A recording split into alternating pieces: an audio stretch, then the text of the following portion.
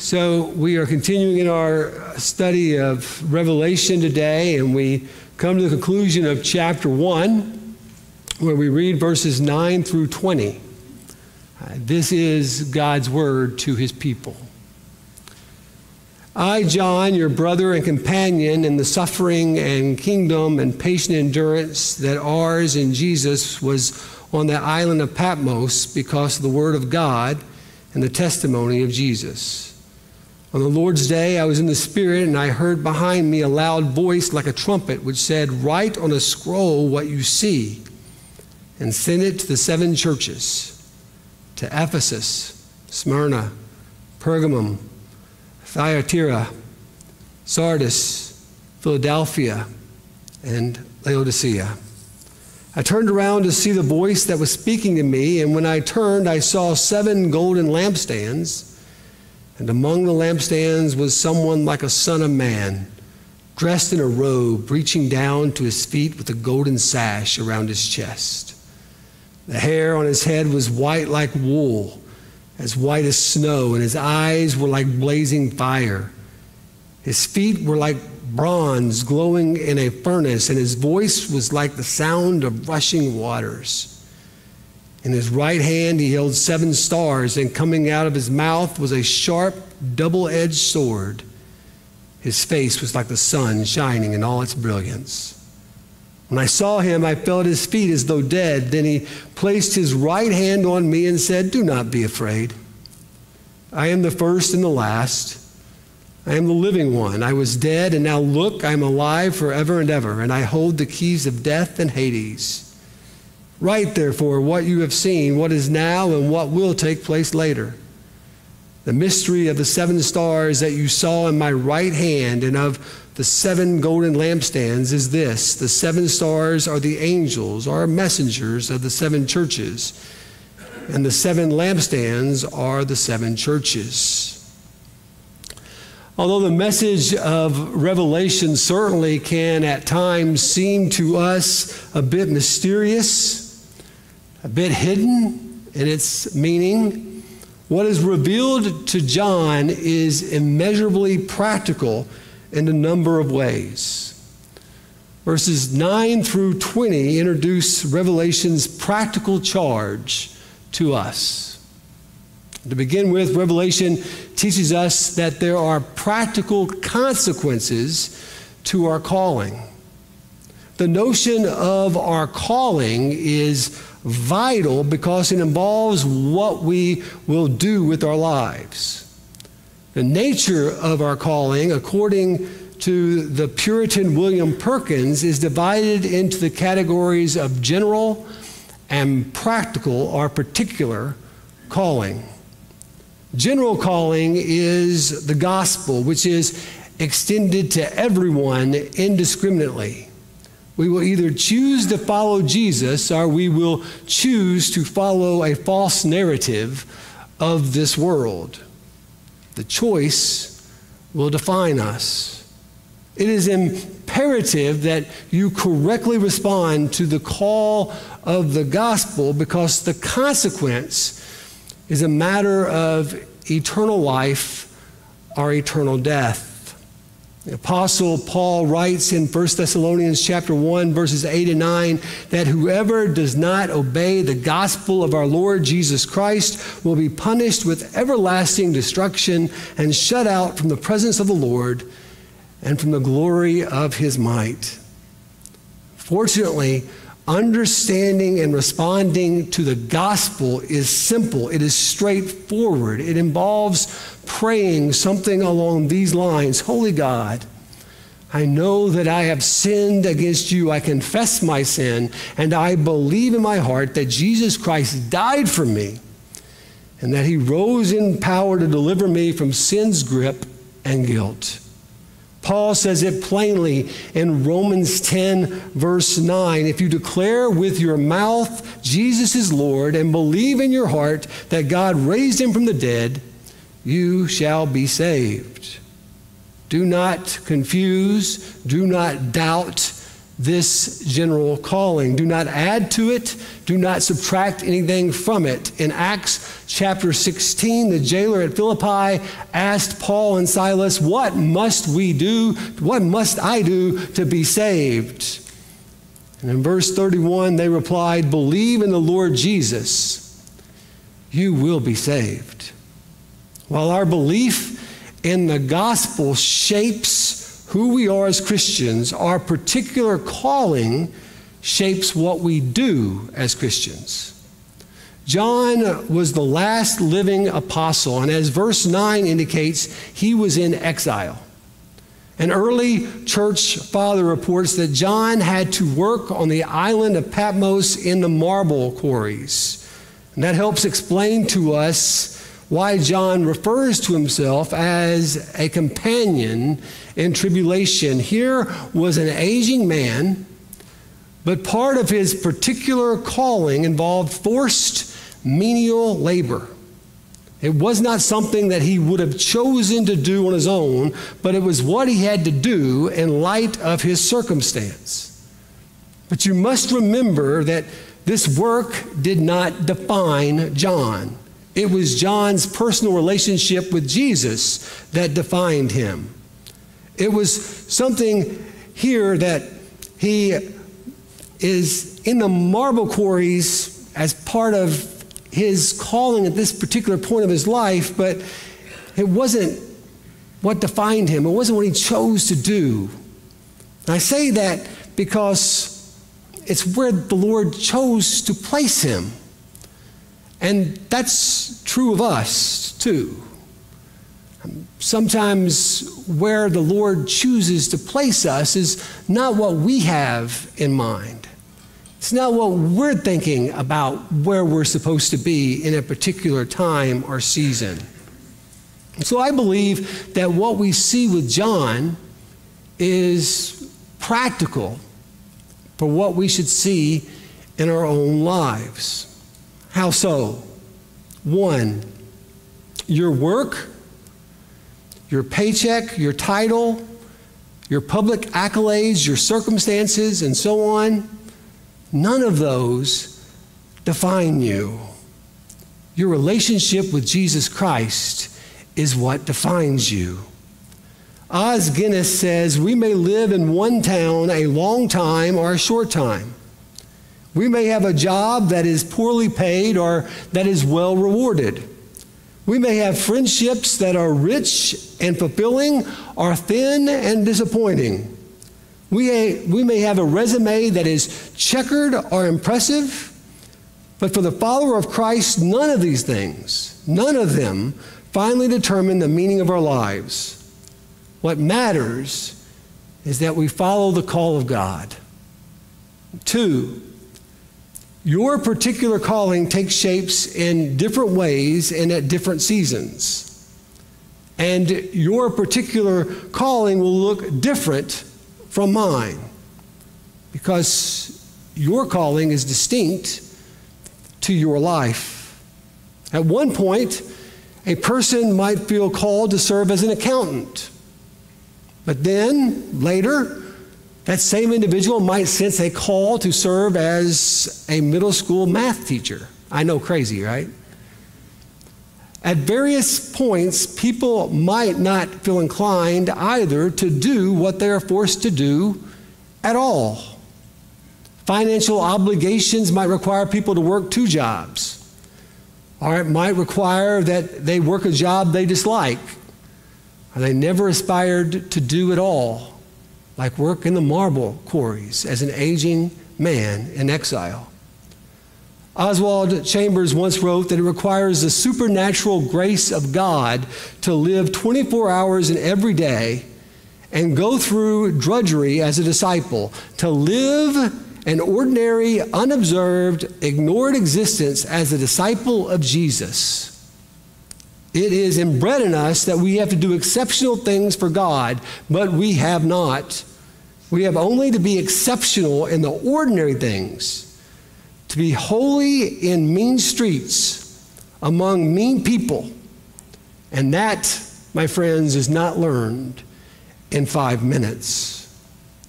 Three, It is far too narrow to relate our particular calling as one's vocation, as a lawyer, as a meteorologist, as a farmer, as a homemaker, as a medical practitioner, as someone who serves in the military, as an administrative assistant, as a financial advisor, as a manual laborer, and so on. I say it's far too narrow because as long as we have breath, our general calling in Christ means that we will always have a particular calling. What helped an aging John to go on day by day at Patmos doing manual labor? Why did he live so long? Simply this Christ still had work for him to do. Prior to the revelation, John is cut off from his churches by the decree of an unholy Rome. The gospel has seemingly proven ineffective against this unstoppable evil. But then, without a single thing happening to change the governance of Rome, John is given a message. The exiled, aging John in the marble quarry is now the empowered John with a renewed calling as pastor. Rome had tried to shut John away, to prevent churches from seeing him, to present, prevent churches from hearing what he had to say. But the Holy Spirit filled his eyes with sights and his mouth with speech that have given comfort and confidence to Christians across every age since. Sometimes people have asked me what their remaining purpose is. Most typically, this happens among those who are aging, or among those who have outlived a number of their friends and loved ones, or among those who find themselves now dealing with some debilitating illness. All that I can say is that the Lord keeps us here until our work for Christ is done. Psalm 31:15 says, "Our time is in God's hands. As Christians, we are never uncalled. We may retire from our jobs, but we never retire from our calling as the people of God to proclaim His grace and His goodness to the world. John was living by faith bearing his cross and following in the way of Christ until the end. Trials in various and sundry ways will come to us all.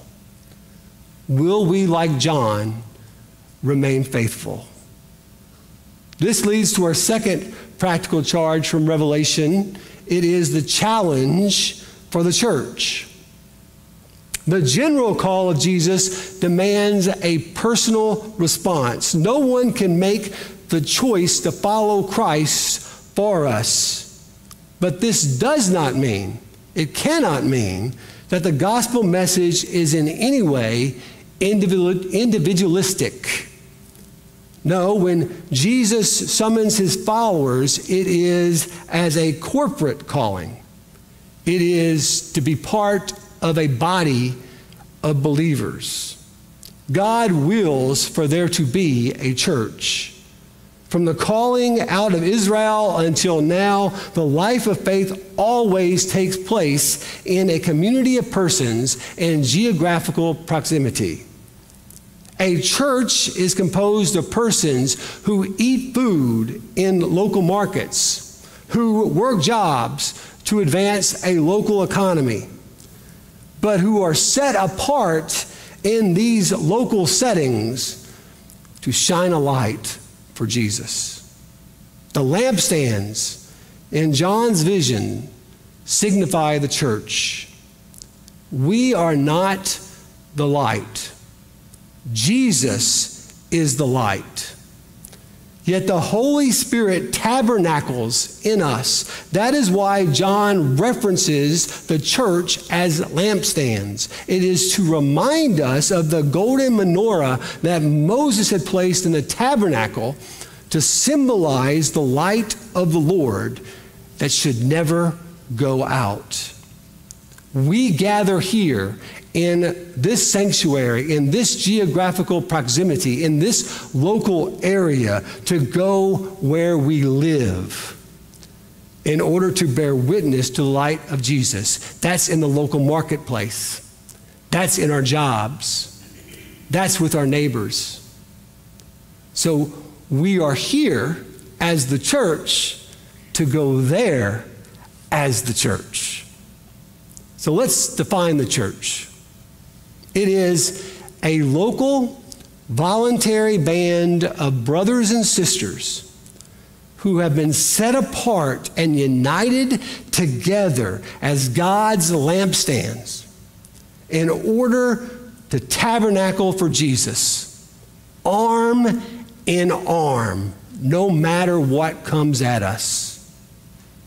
The year was 480 BC when 38 year old King Xerxes of Persia and his 80,000 grand army marched out from Susa. As they sought to expand the Persian Empire, Xerxes determined to have his way with Greece.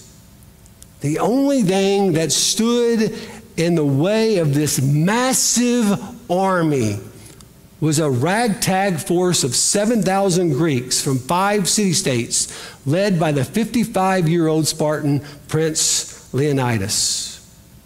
The Greeks took their stand in a narrow pass 20 yards wide, bounded by the sea on one side and the 5,000 foot cliffs of Mount Kallidromos on the other. For the massive Persian infantry. This had to look nothing more than a fight with a collection of gnats.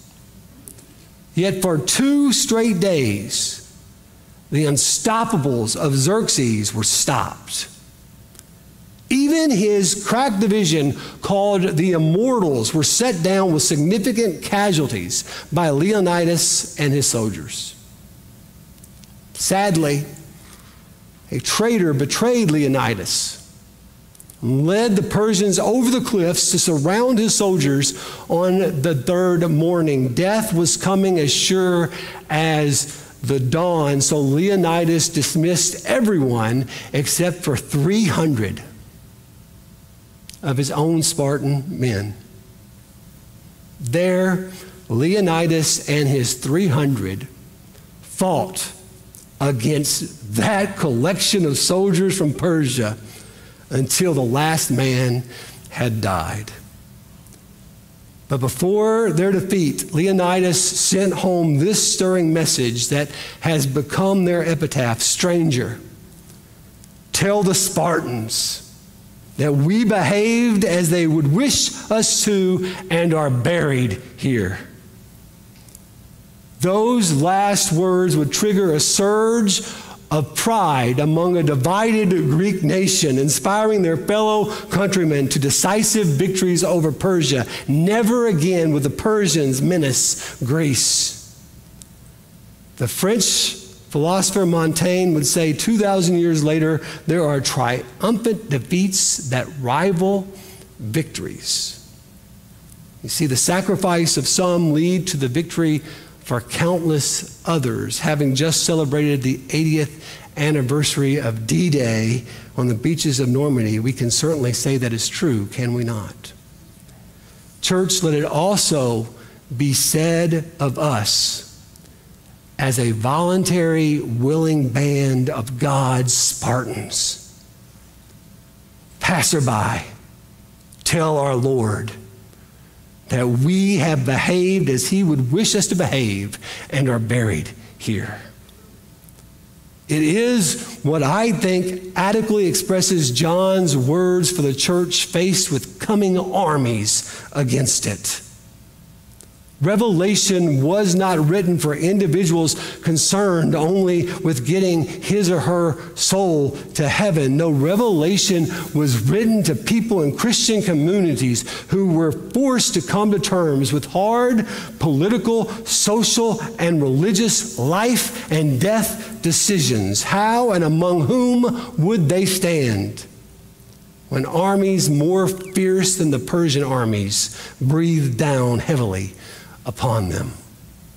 How and among whom will we stand? We must stand for Jesus and we must stand together as his church. Throughout the world, Christian churches continue to deal with severe persecution, and some nations just claiming Christ as Lord leads to imprisonment or death. In the United States, voices increasingly devalue the place of Jesus. He traced the trends as it pertains to faith and the church. What you see is a significant decrease in conversion, a significant decrease, decrease in commitment. In other words, fewer people express commitment to faith in Christ, and more people, even those who say they're committed to Christ, become less and less involved in carrying out his mission with the church. Ah, I'll just sit at home and watch it on TV. No one even has to know that I'm a Christian at all because it's a lot more comfortable. Not going against culture. Not speaking out about what is true and right and good and loving. Both of those scenarios marked by either physical or philosophical persecution demand that we remain arm in arm together, even when we are but 300, pitted against the swords of 800,000. In Acts chapter 14, verses 21 and 22, Paul and Barnabas returned to the churches at Lystra, Iconium, and Antioch, encouraging them to remain true to the faith. We must go through many hardships before entering the kingdom of God, they said. Plus, do not miss why Revelation 1 9 said that John was on the island of Patmos to begin with. It was on account of the Word of God and the testimony of Jesus. And therein is the practical charge to believers in the church. The faithful Christian will not shrink back from proclaiming the truth of God's word and the gospel message of Jesus Christ, even in the face of all types of persecution. And so I charge you as a messenger of God to the church with these words. These are the Lord's words, and they're spoken over you. Isaiah 54, verse 17 No weapon forged against you will prevail and you will refute every tongue that accuses you. This is the heritage of the servants of the Lord, and this is their vindication from me, declares the Lord. Philippians 1 27 to 30. Whatever happens, no matter what comes, conduct yourselves in a manner worthy of the gospel of Christ. Then, whether I come and see you or only hear about you in my absence, I will know that you stand firm in the one spirit, striving together as one for the faith of the gospel without being frightened in any way by those who oppose you. This is a sign to them that they will be destroyed, but that you will be saved, and that by God. For it has been granted to you on behalf of Christ not only to believe in him, but also to suffer for him. 2 Corinthians 4 8 through 10. We are hard pressed on every side, but not crushed perplexed, but not in despair, persecuted, but not abandoned, struck down, but not destroyed. We always carry around in our body the death of Jesus so that the life of Jesus may also be revealed in our body. So, just as King Jehoshaphat prayed to God when facing daunting enemies in Second Chronicles chapter 20 and verse 12, we do not know what to do, but our eyes are upon you. And that's the crux of the matter, I think. The churches of Asia Minor might not know what to expect to do in the coming days, but they could fix their eyes on the centrality of Christ. You and I might not know what to expect or what to do in our coming days, but we can fix our eyes on the centrality of Christ. On the occasion in John 6, verses 19 and 20, when the fearful disciples had just seen Jesus walk to them on water, Jesus says, I am. Fear not. Why? Because nothing lies outside the influence, the power, and the control of our Christ. Whom or what then shall we fear? Nothing. No trouble or tribulation, neither death nor the grave. But perhaps our vision has become too weak. Perhaps we merely imagine a Jesus who walked around Palestine with some dense fishermen helping and healing people along the way and speaking several suitable verses for Sunday school memory or to put on a plaque and hang on our walls. If so, John's revelation wants to train us to re see the centrality of Christ. The apostle wants for us to have a fuller vision, a right vision, a true vision of who Jesus is. I say this to you.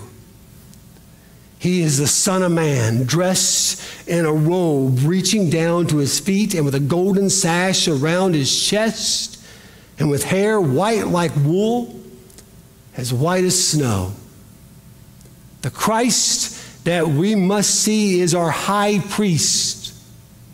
The garment described that he is wearing is the same garment worn by Aaron in his priestly work. Part of Aaron's priestly work was to make a sacrifice every year because of his own sin needed covering, as well as that of the corporate community. Uh, but not so with Jesus. The description of Christ's hair points us to his perfect purity and to the prophecy of Isaiah 1, verse 18. Though your sins are like scarlet, they shall be as white as snow. Though they are red as crimson, they shall be made like wool as our high priest. Christ perfectly fulfills the law and he grants to us his purity and the righteousness that we need, that we must have to stand before a holy God. Another part of Aaron's priestly work was to serve in the temple and keep the menorah lamps lit. The enrobed Son of Man now stands where? Among the lampstands, among the church, having sent the Holy Spirit to keep the lights ablaze within us as the walking, breathing temple of God. If we regret a mess that we are in, or if we aspire to become more than what we currently are, the Son of Man, as our high priest, promises help. He has sent out the Holy Spirit. Church, keep your eyes on this Christ. I say this to you He is the Son of Man whose eyes blaze like fire and whose feet glow like bronze in a furnace. The Christ we must see is our King. And in order for us to see that, John draws out an intentional contrast between Jesus and Nebuchadnezzar's dream at the end of Daniel chapter 2. The metallic statue in King Nebuchadnezzar's dream represents four worldly kingdoms, all of which are set upon a flawed base, all of which are destined to fail. Later in chapter 10, however, Daniel encounters a truly superb construction supported by legs of burnished bronze. This is the same Son of Man that, Jesus, that John sees in Revelation. Jesus, whose eyes can see all. Jesus, who purifies all, will tread this world in power to judge the world in truth. He is an all knowing ruler with a sure foundation, unlike the kingdoms and rulers of this earth, which will all falter. They will all fall. At Christ's miraculous conception, the angel said to the Virgin Mary in Luke chapter 1, verses 32 and 33, He will be great and he will be called the Son of the Most High. The Lord God will give him the throne of his father David, and he will reign forever over Jacob's descendants. His kingdom will never end. Jesus wins. He is king. And his victory, his victory will be eternal and reign throughout eternity. Church, keep your eyes upon this Jesus. I say this to you He is the Son of Man whose voice was like the sound of rushing waters, and who holds the seven stars in his right hand with a sharp, double edged sword coming out of his mouth. The Christ we must see is our prophet. John's comparison of the Messiah's voice is to that of rushing waters that you see in Ezekiel 1, verse 24, and the voice of Yahweh. That comparison appears again in Ezekiel 43 and verse 2. When Ezekiel goes into exile, the glory of Yahweh goes with him.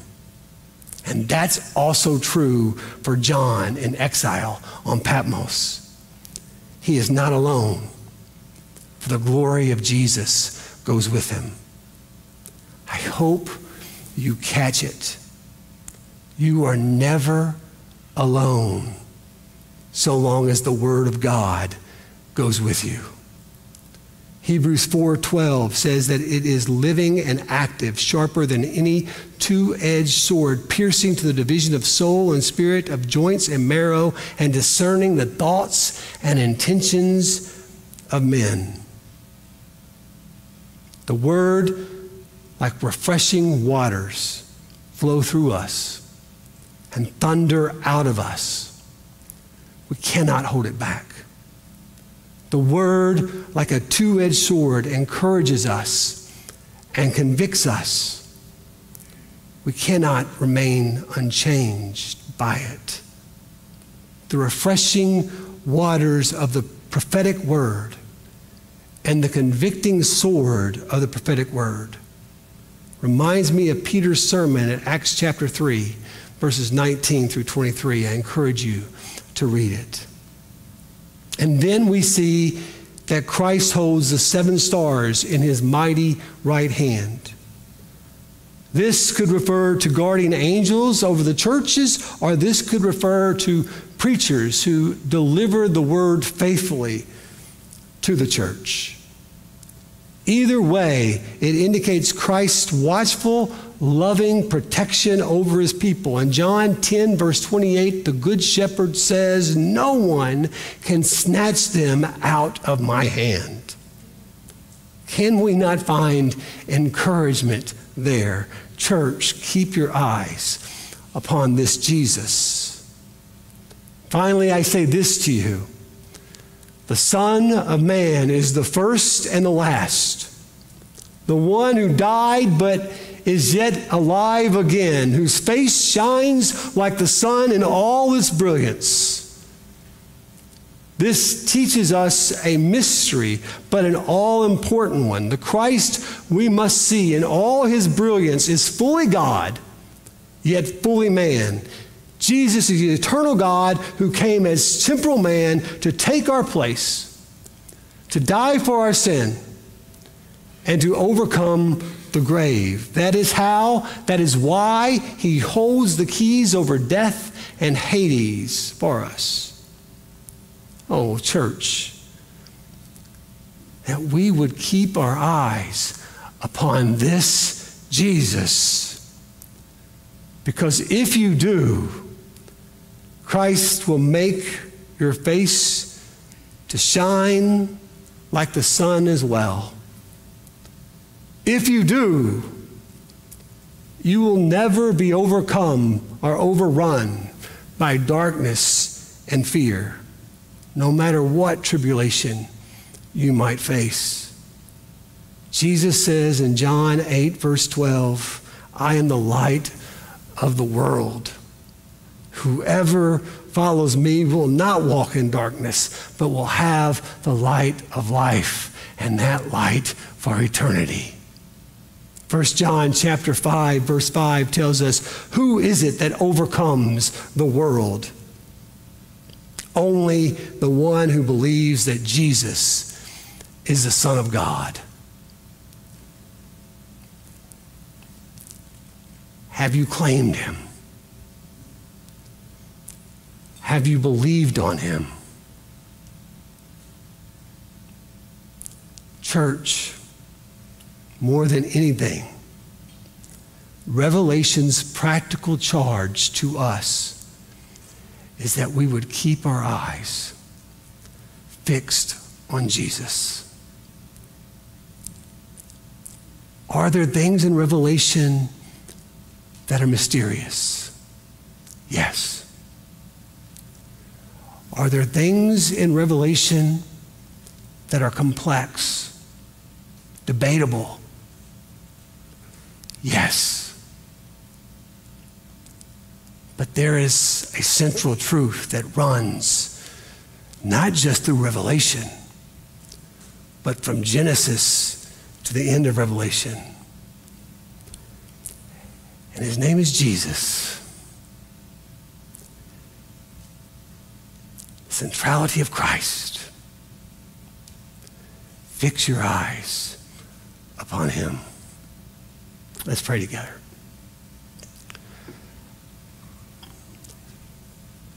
Lord, by your Spirit, issue this charge to your church that we would respond to your call. The gospel call and the call of our lives to live for that gospel. And we as a church would stand together and we would face whatever comes at us in the strength and the presence of Christ. And that we would keep our eyes fixed upon our priest, upon our king, upon our prophet, whose word stays with us, whose reign lasts for eternity, and whose work at Calvary and resurrection from the tomb grants us life restored with you, Father. Oh, let us receive this charge today, we pray. Jesus, in your name. Amen.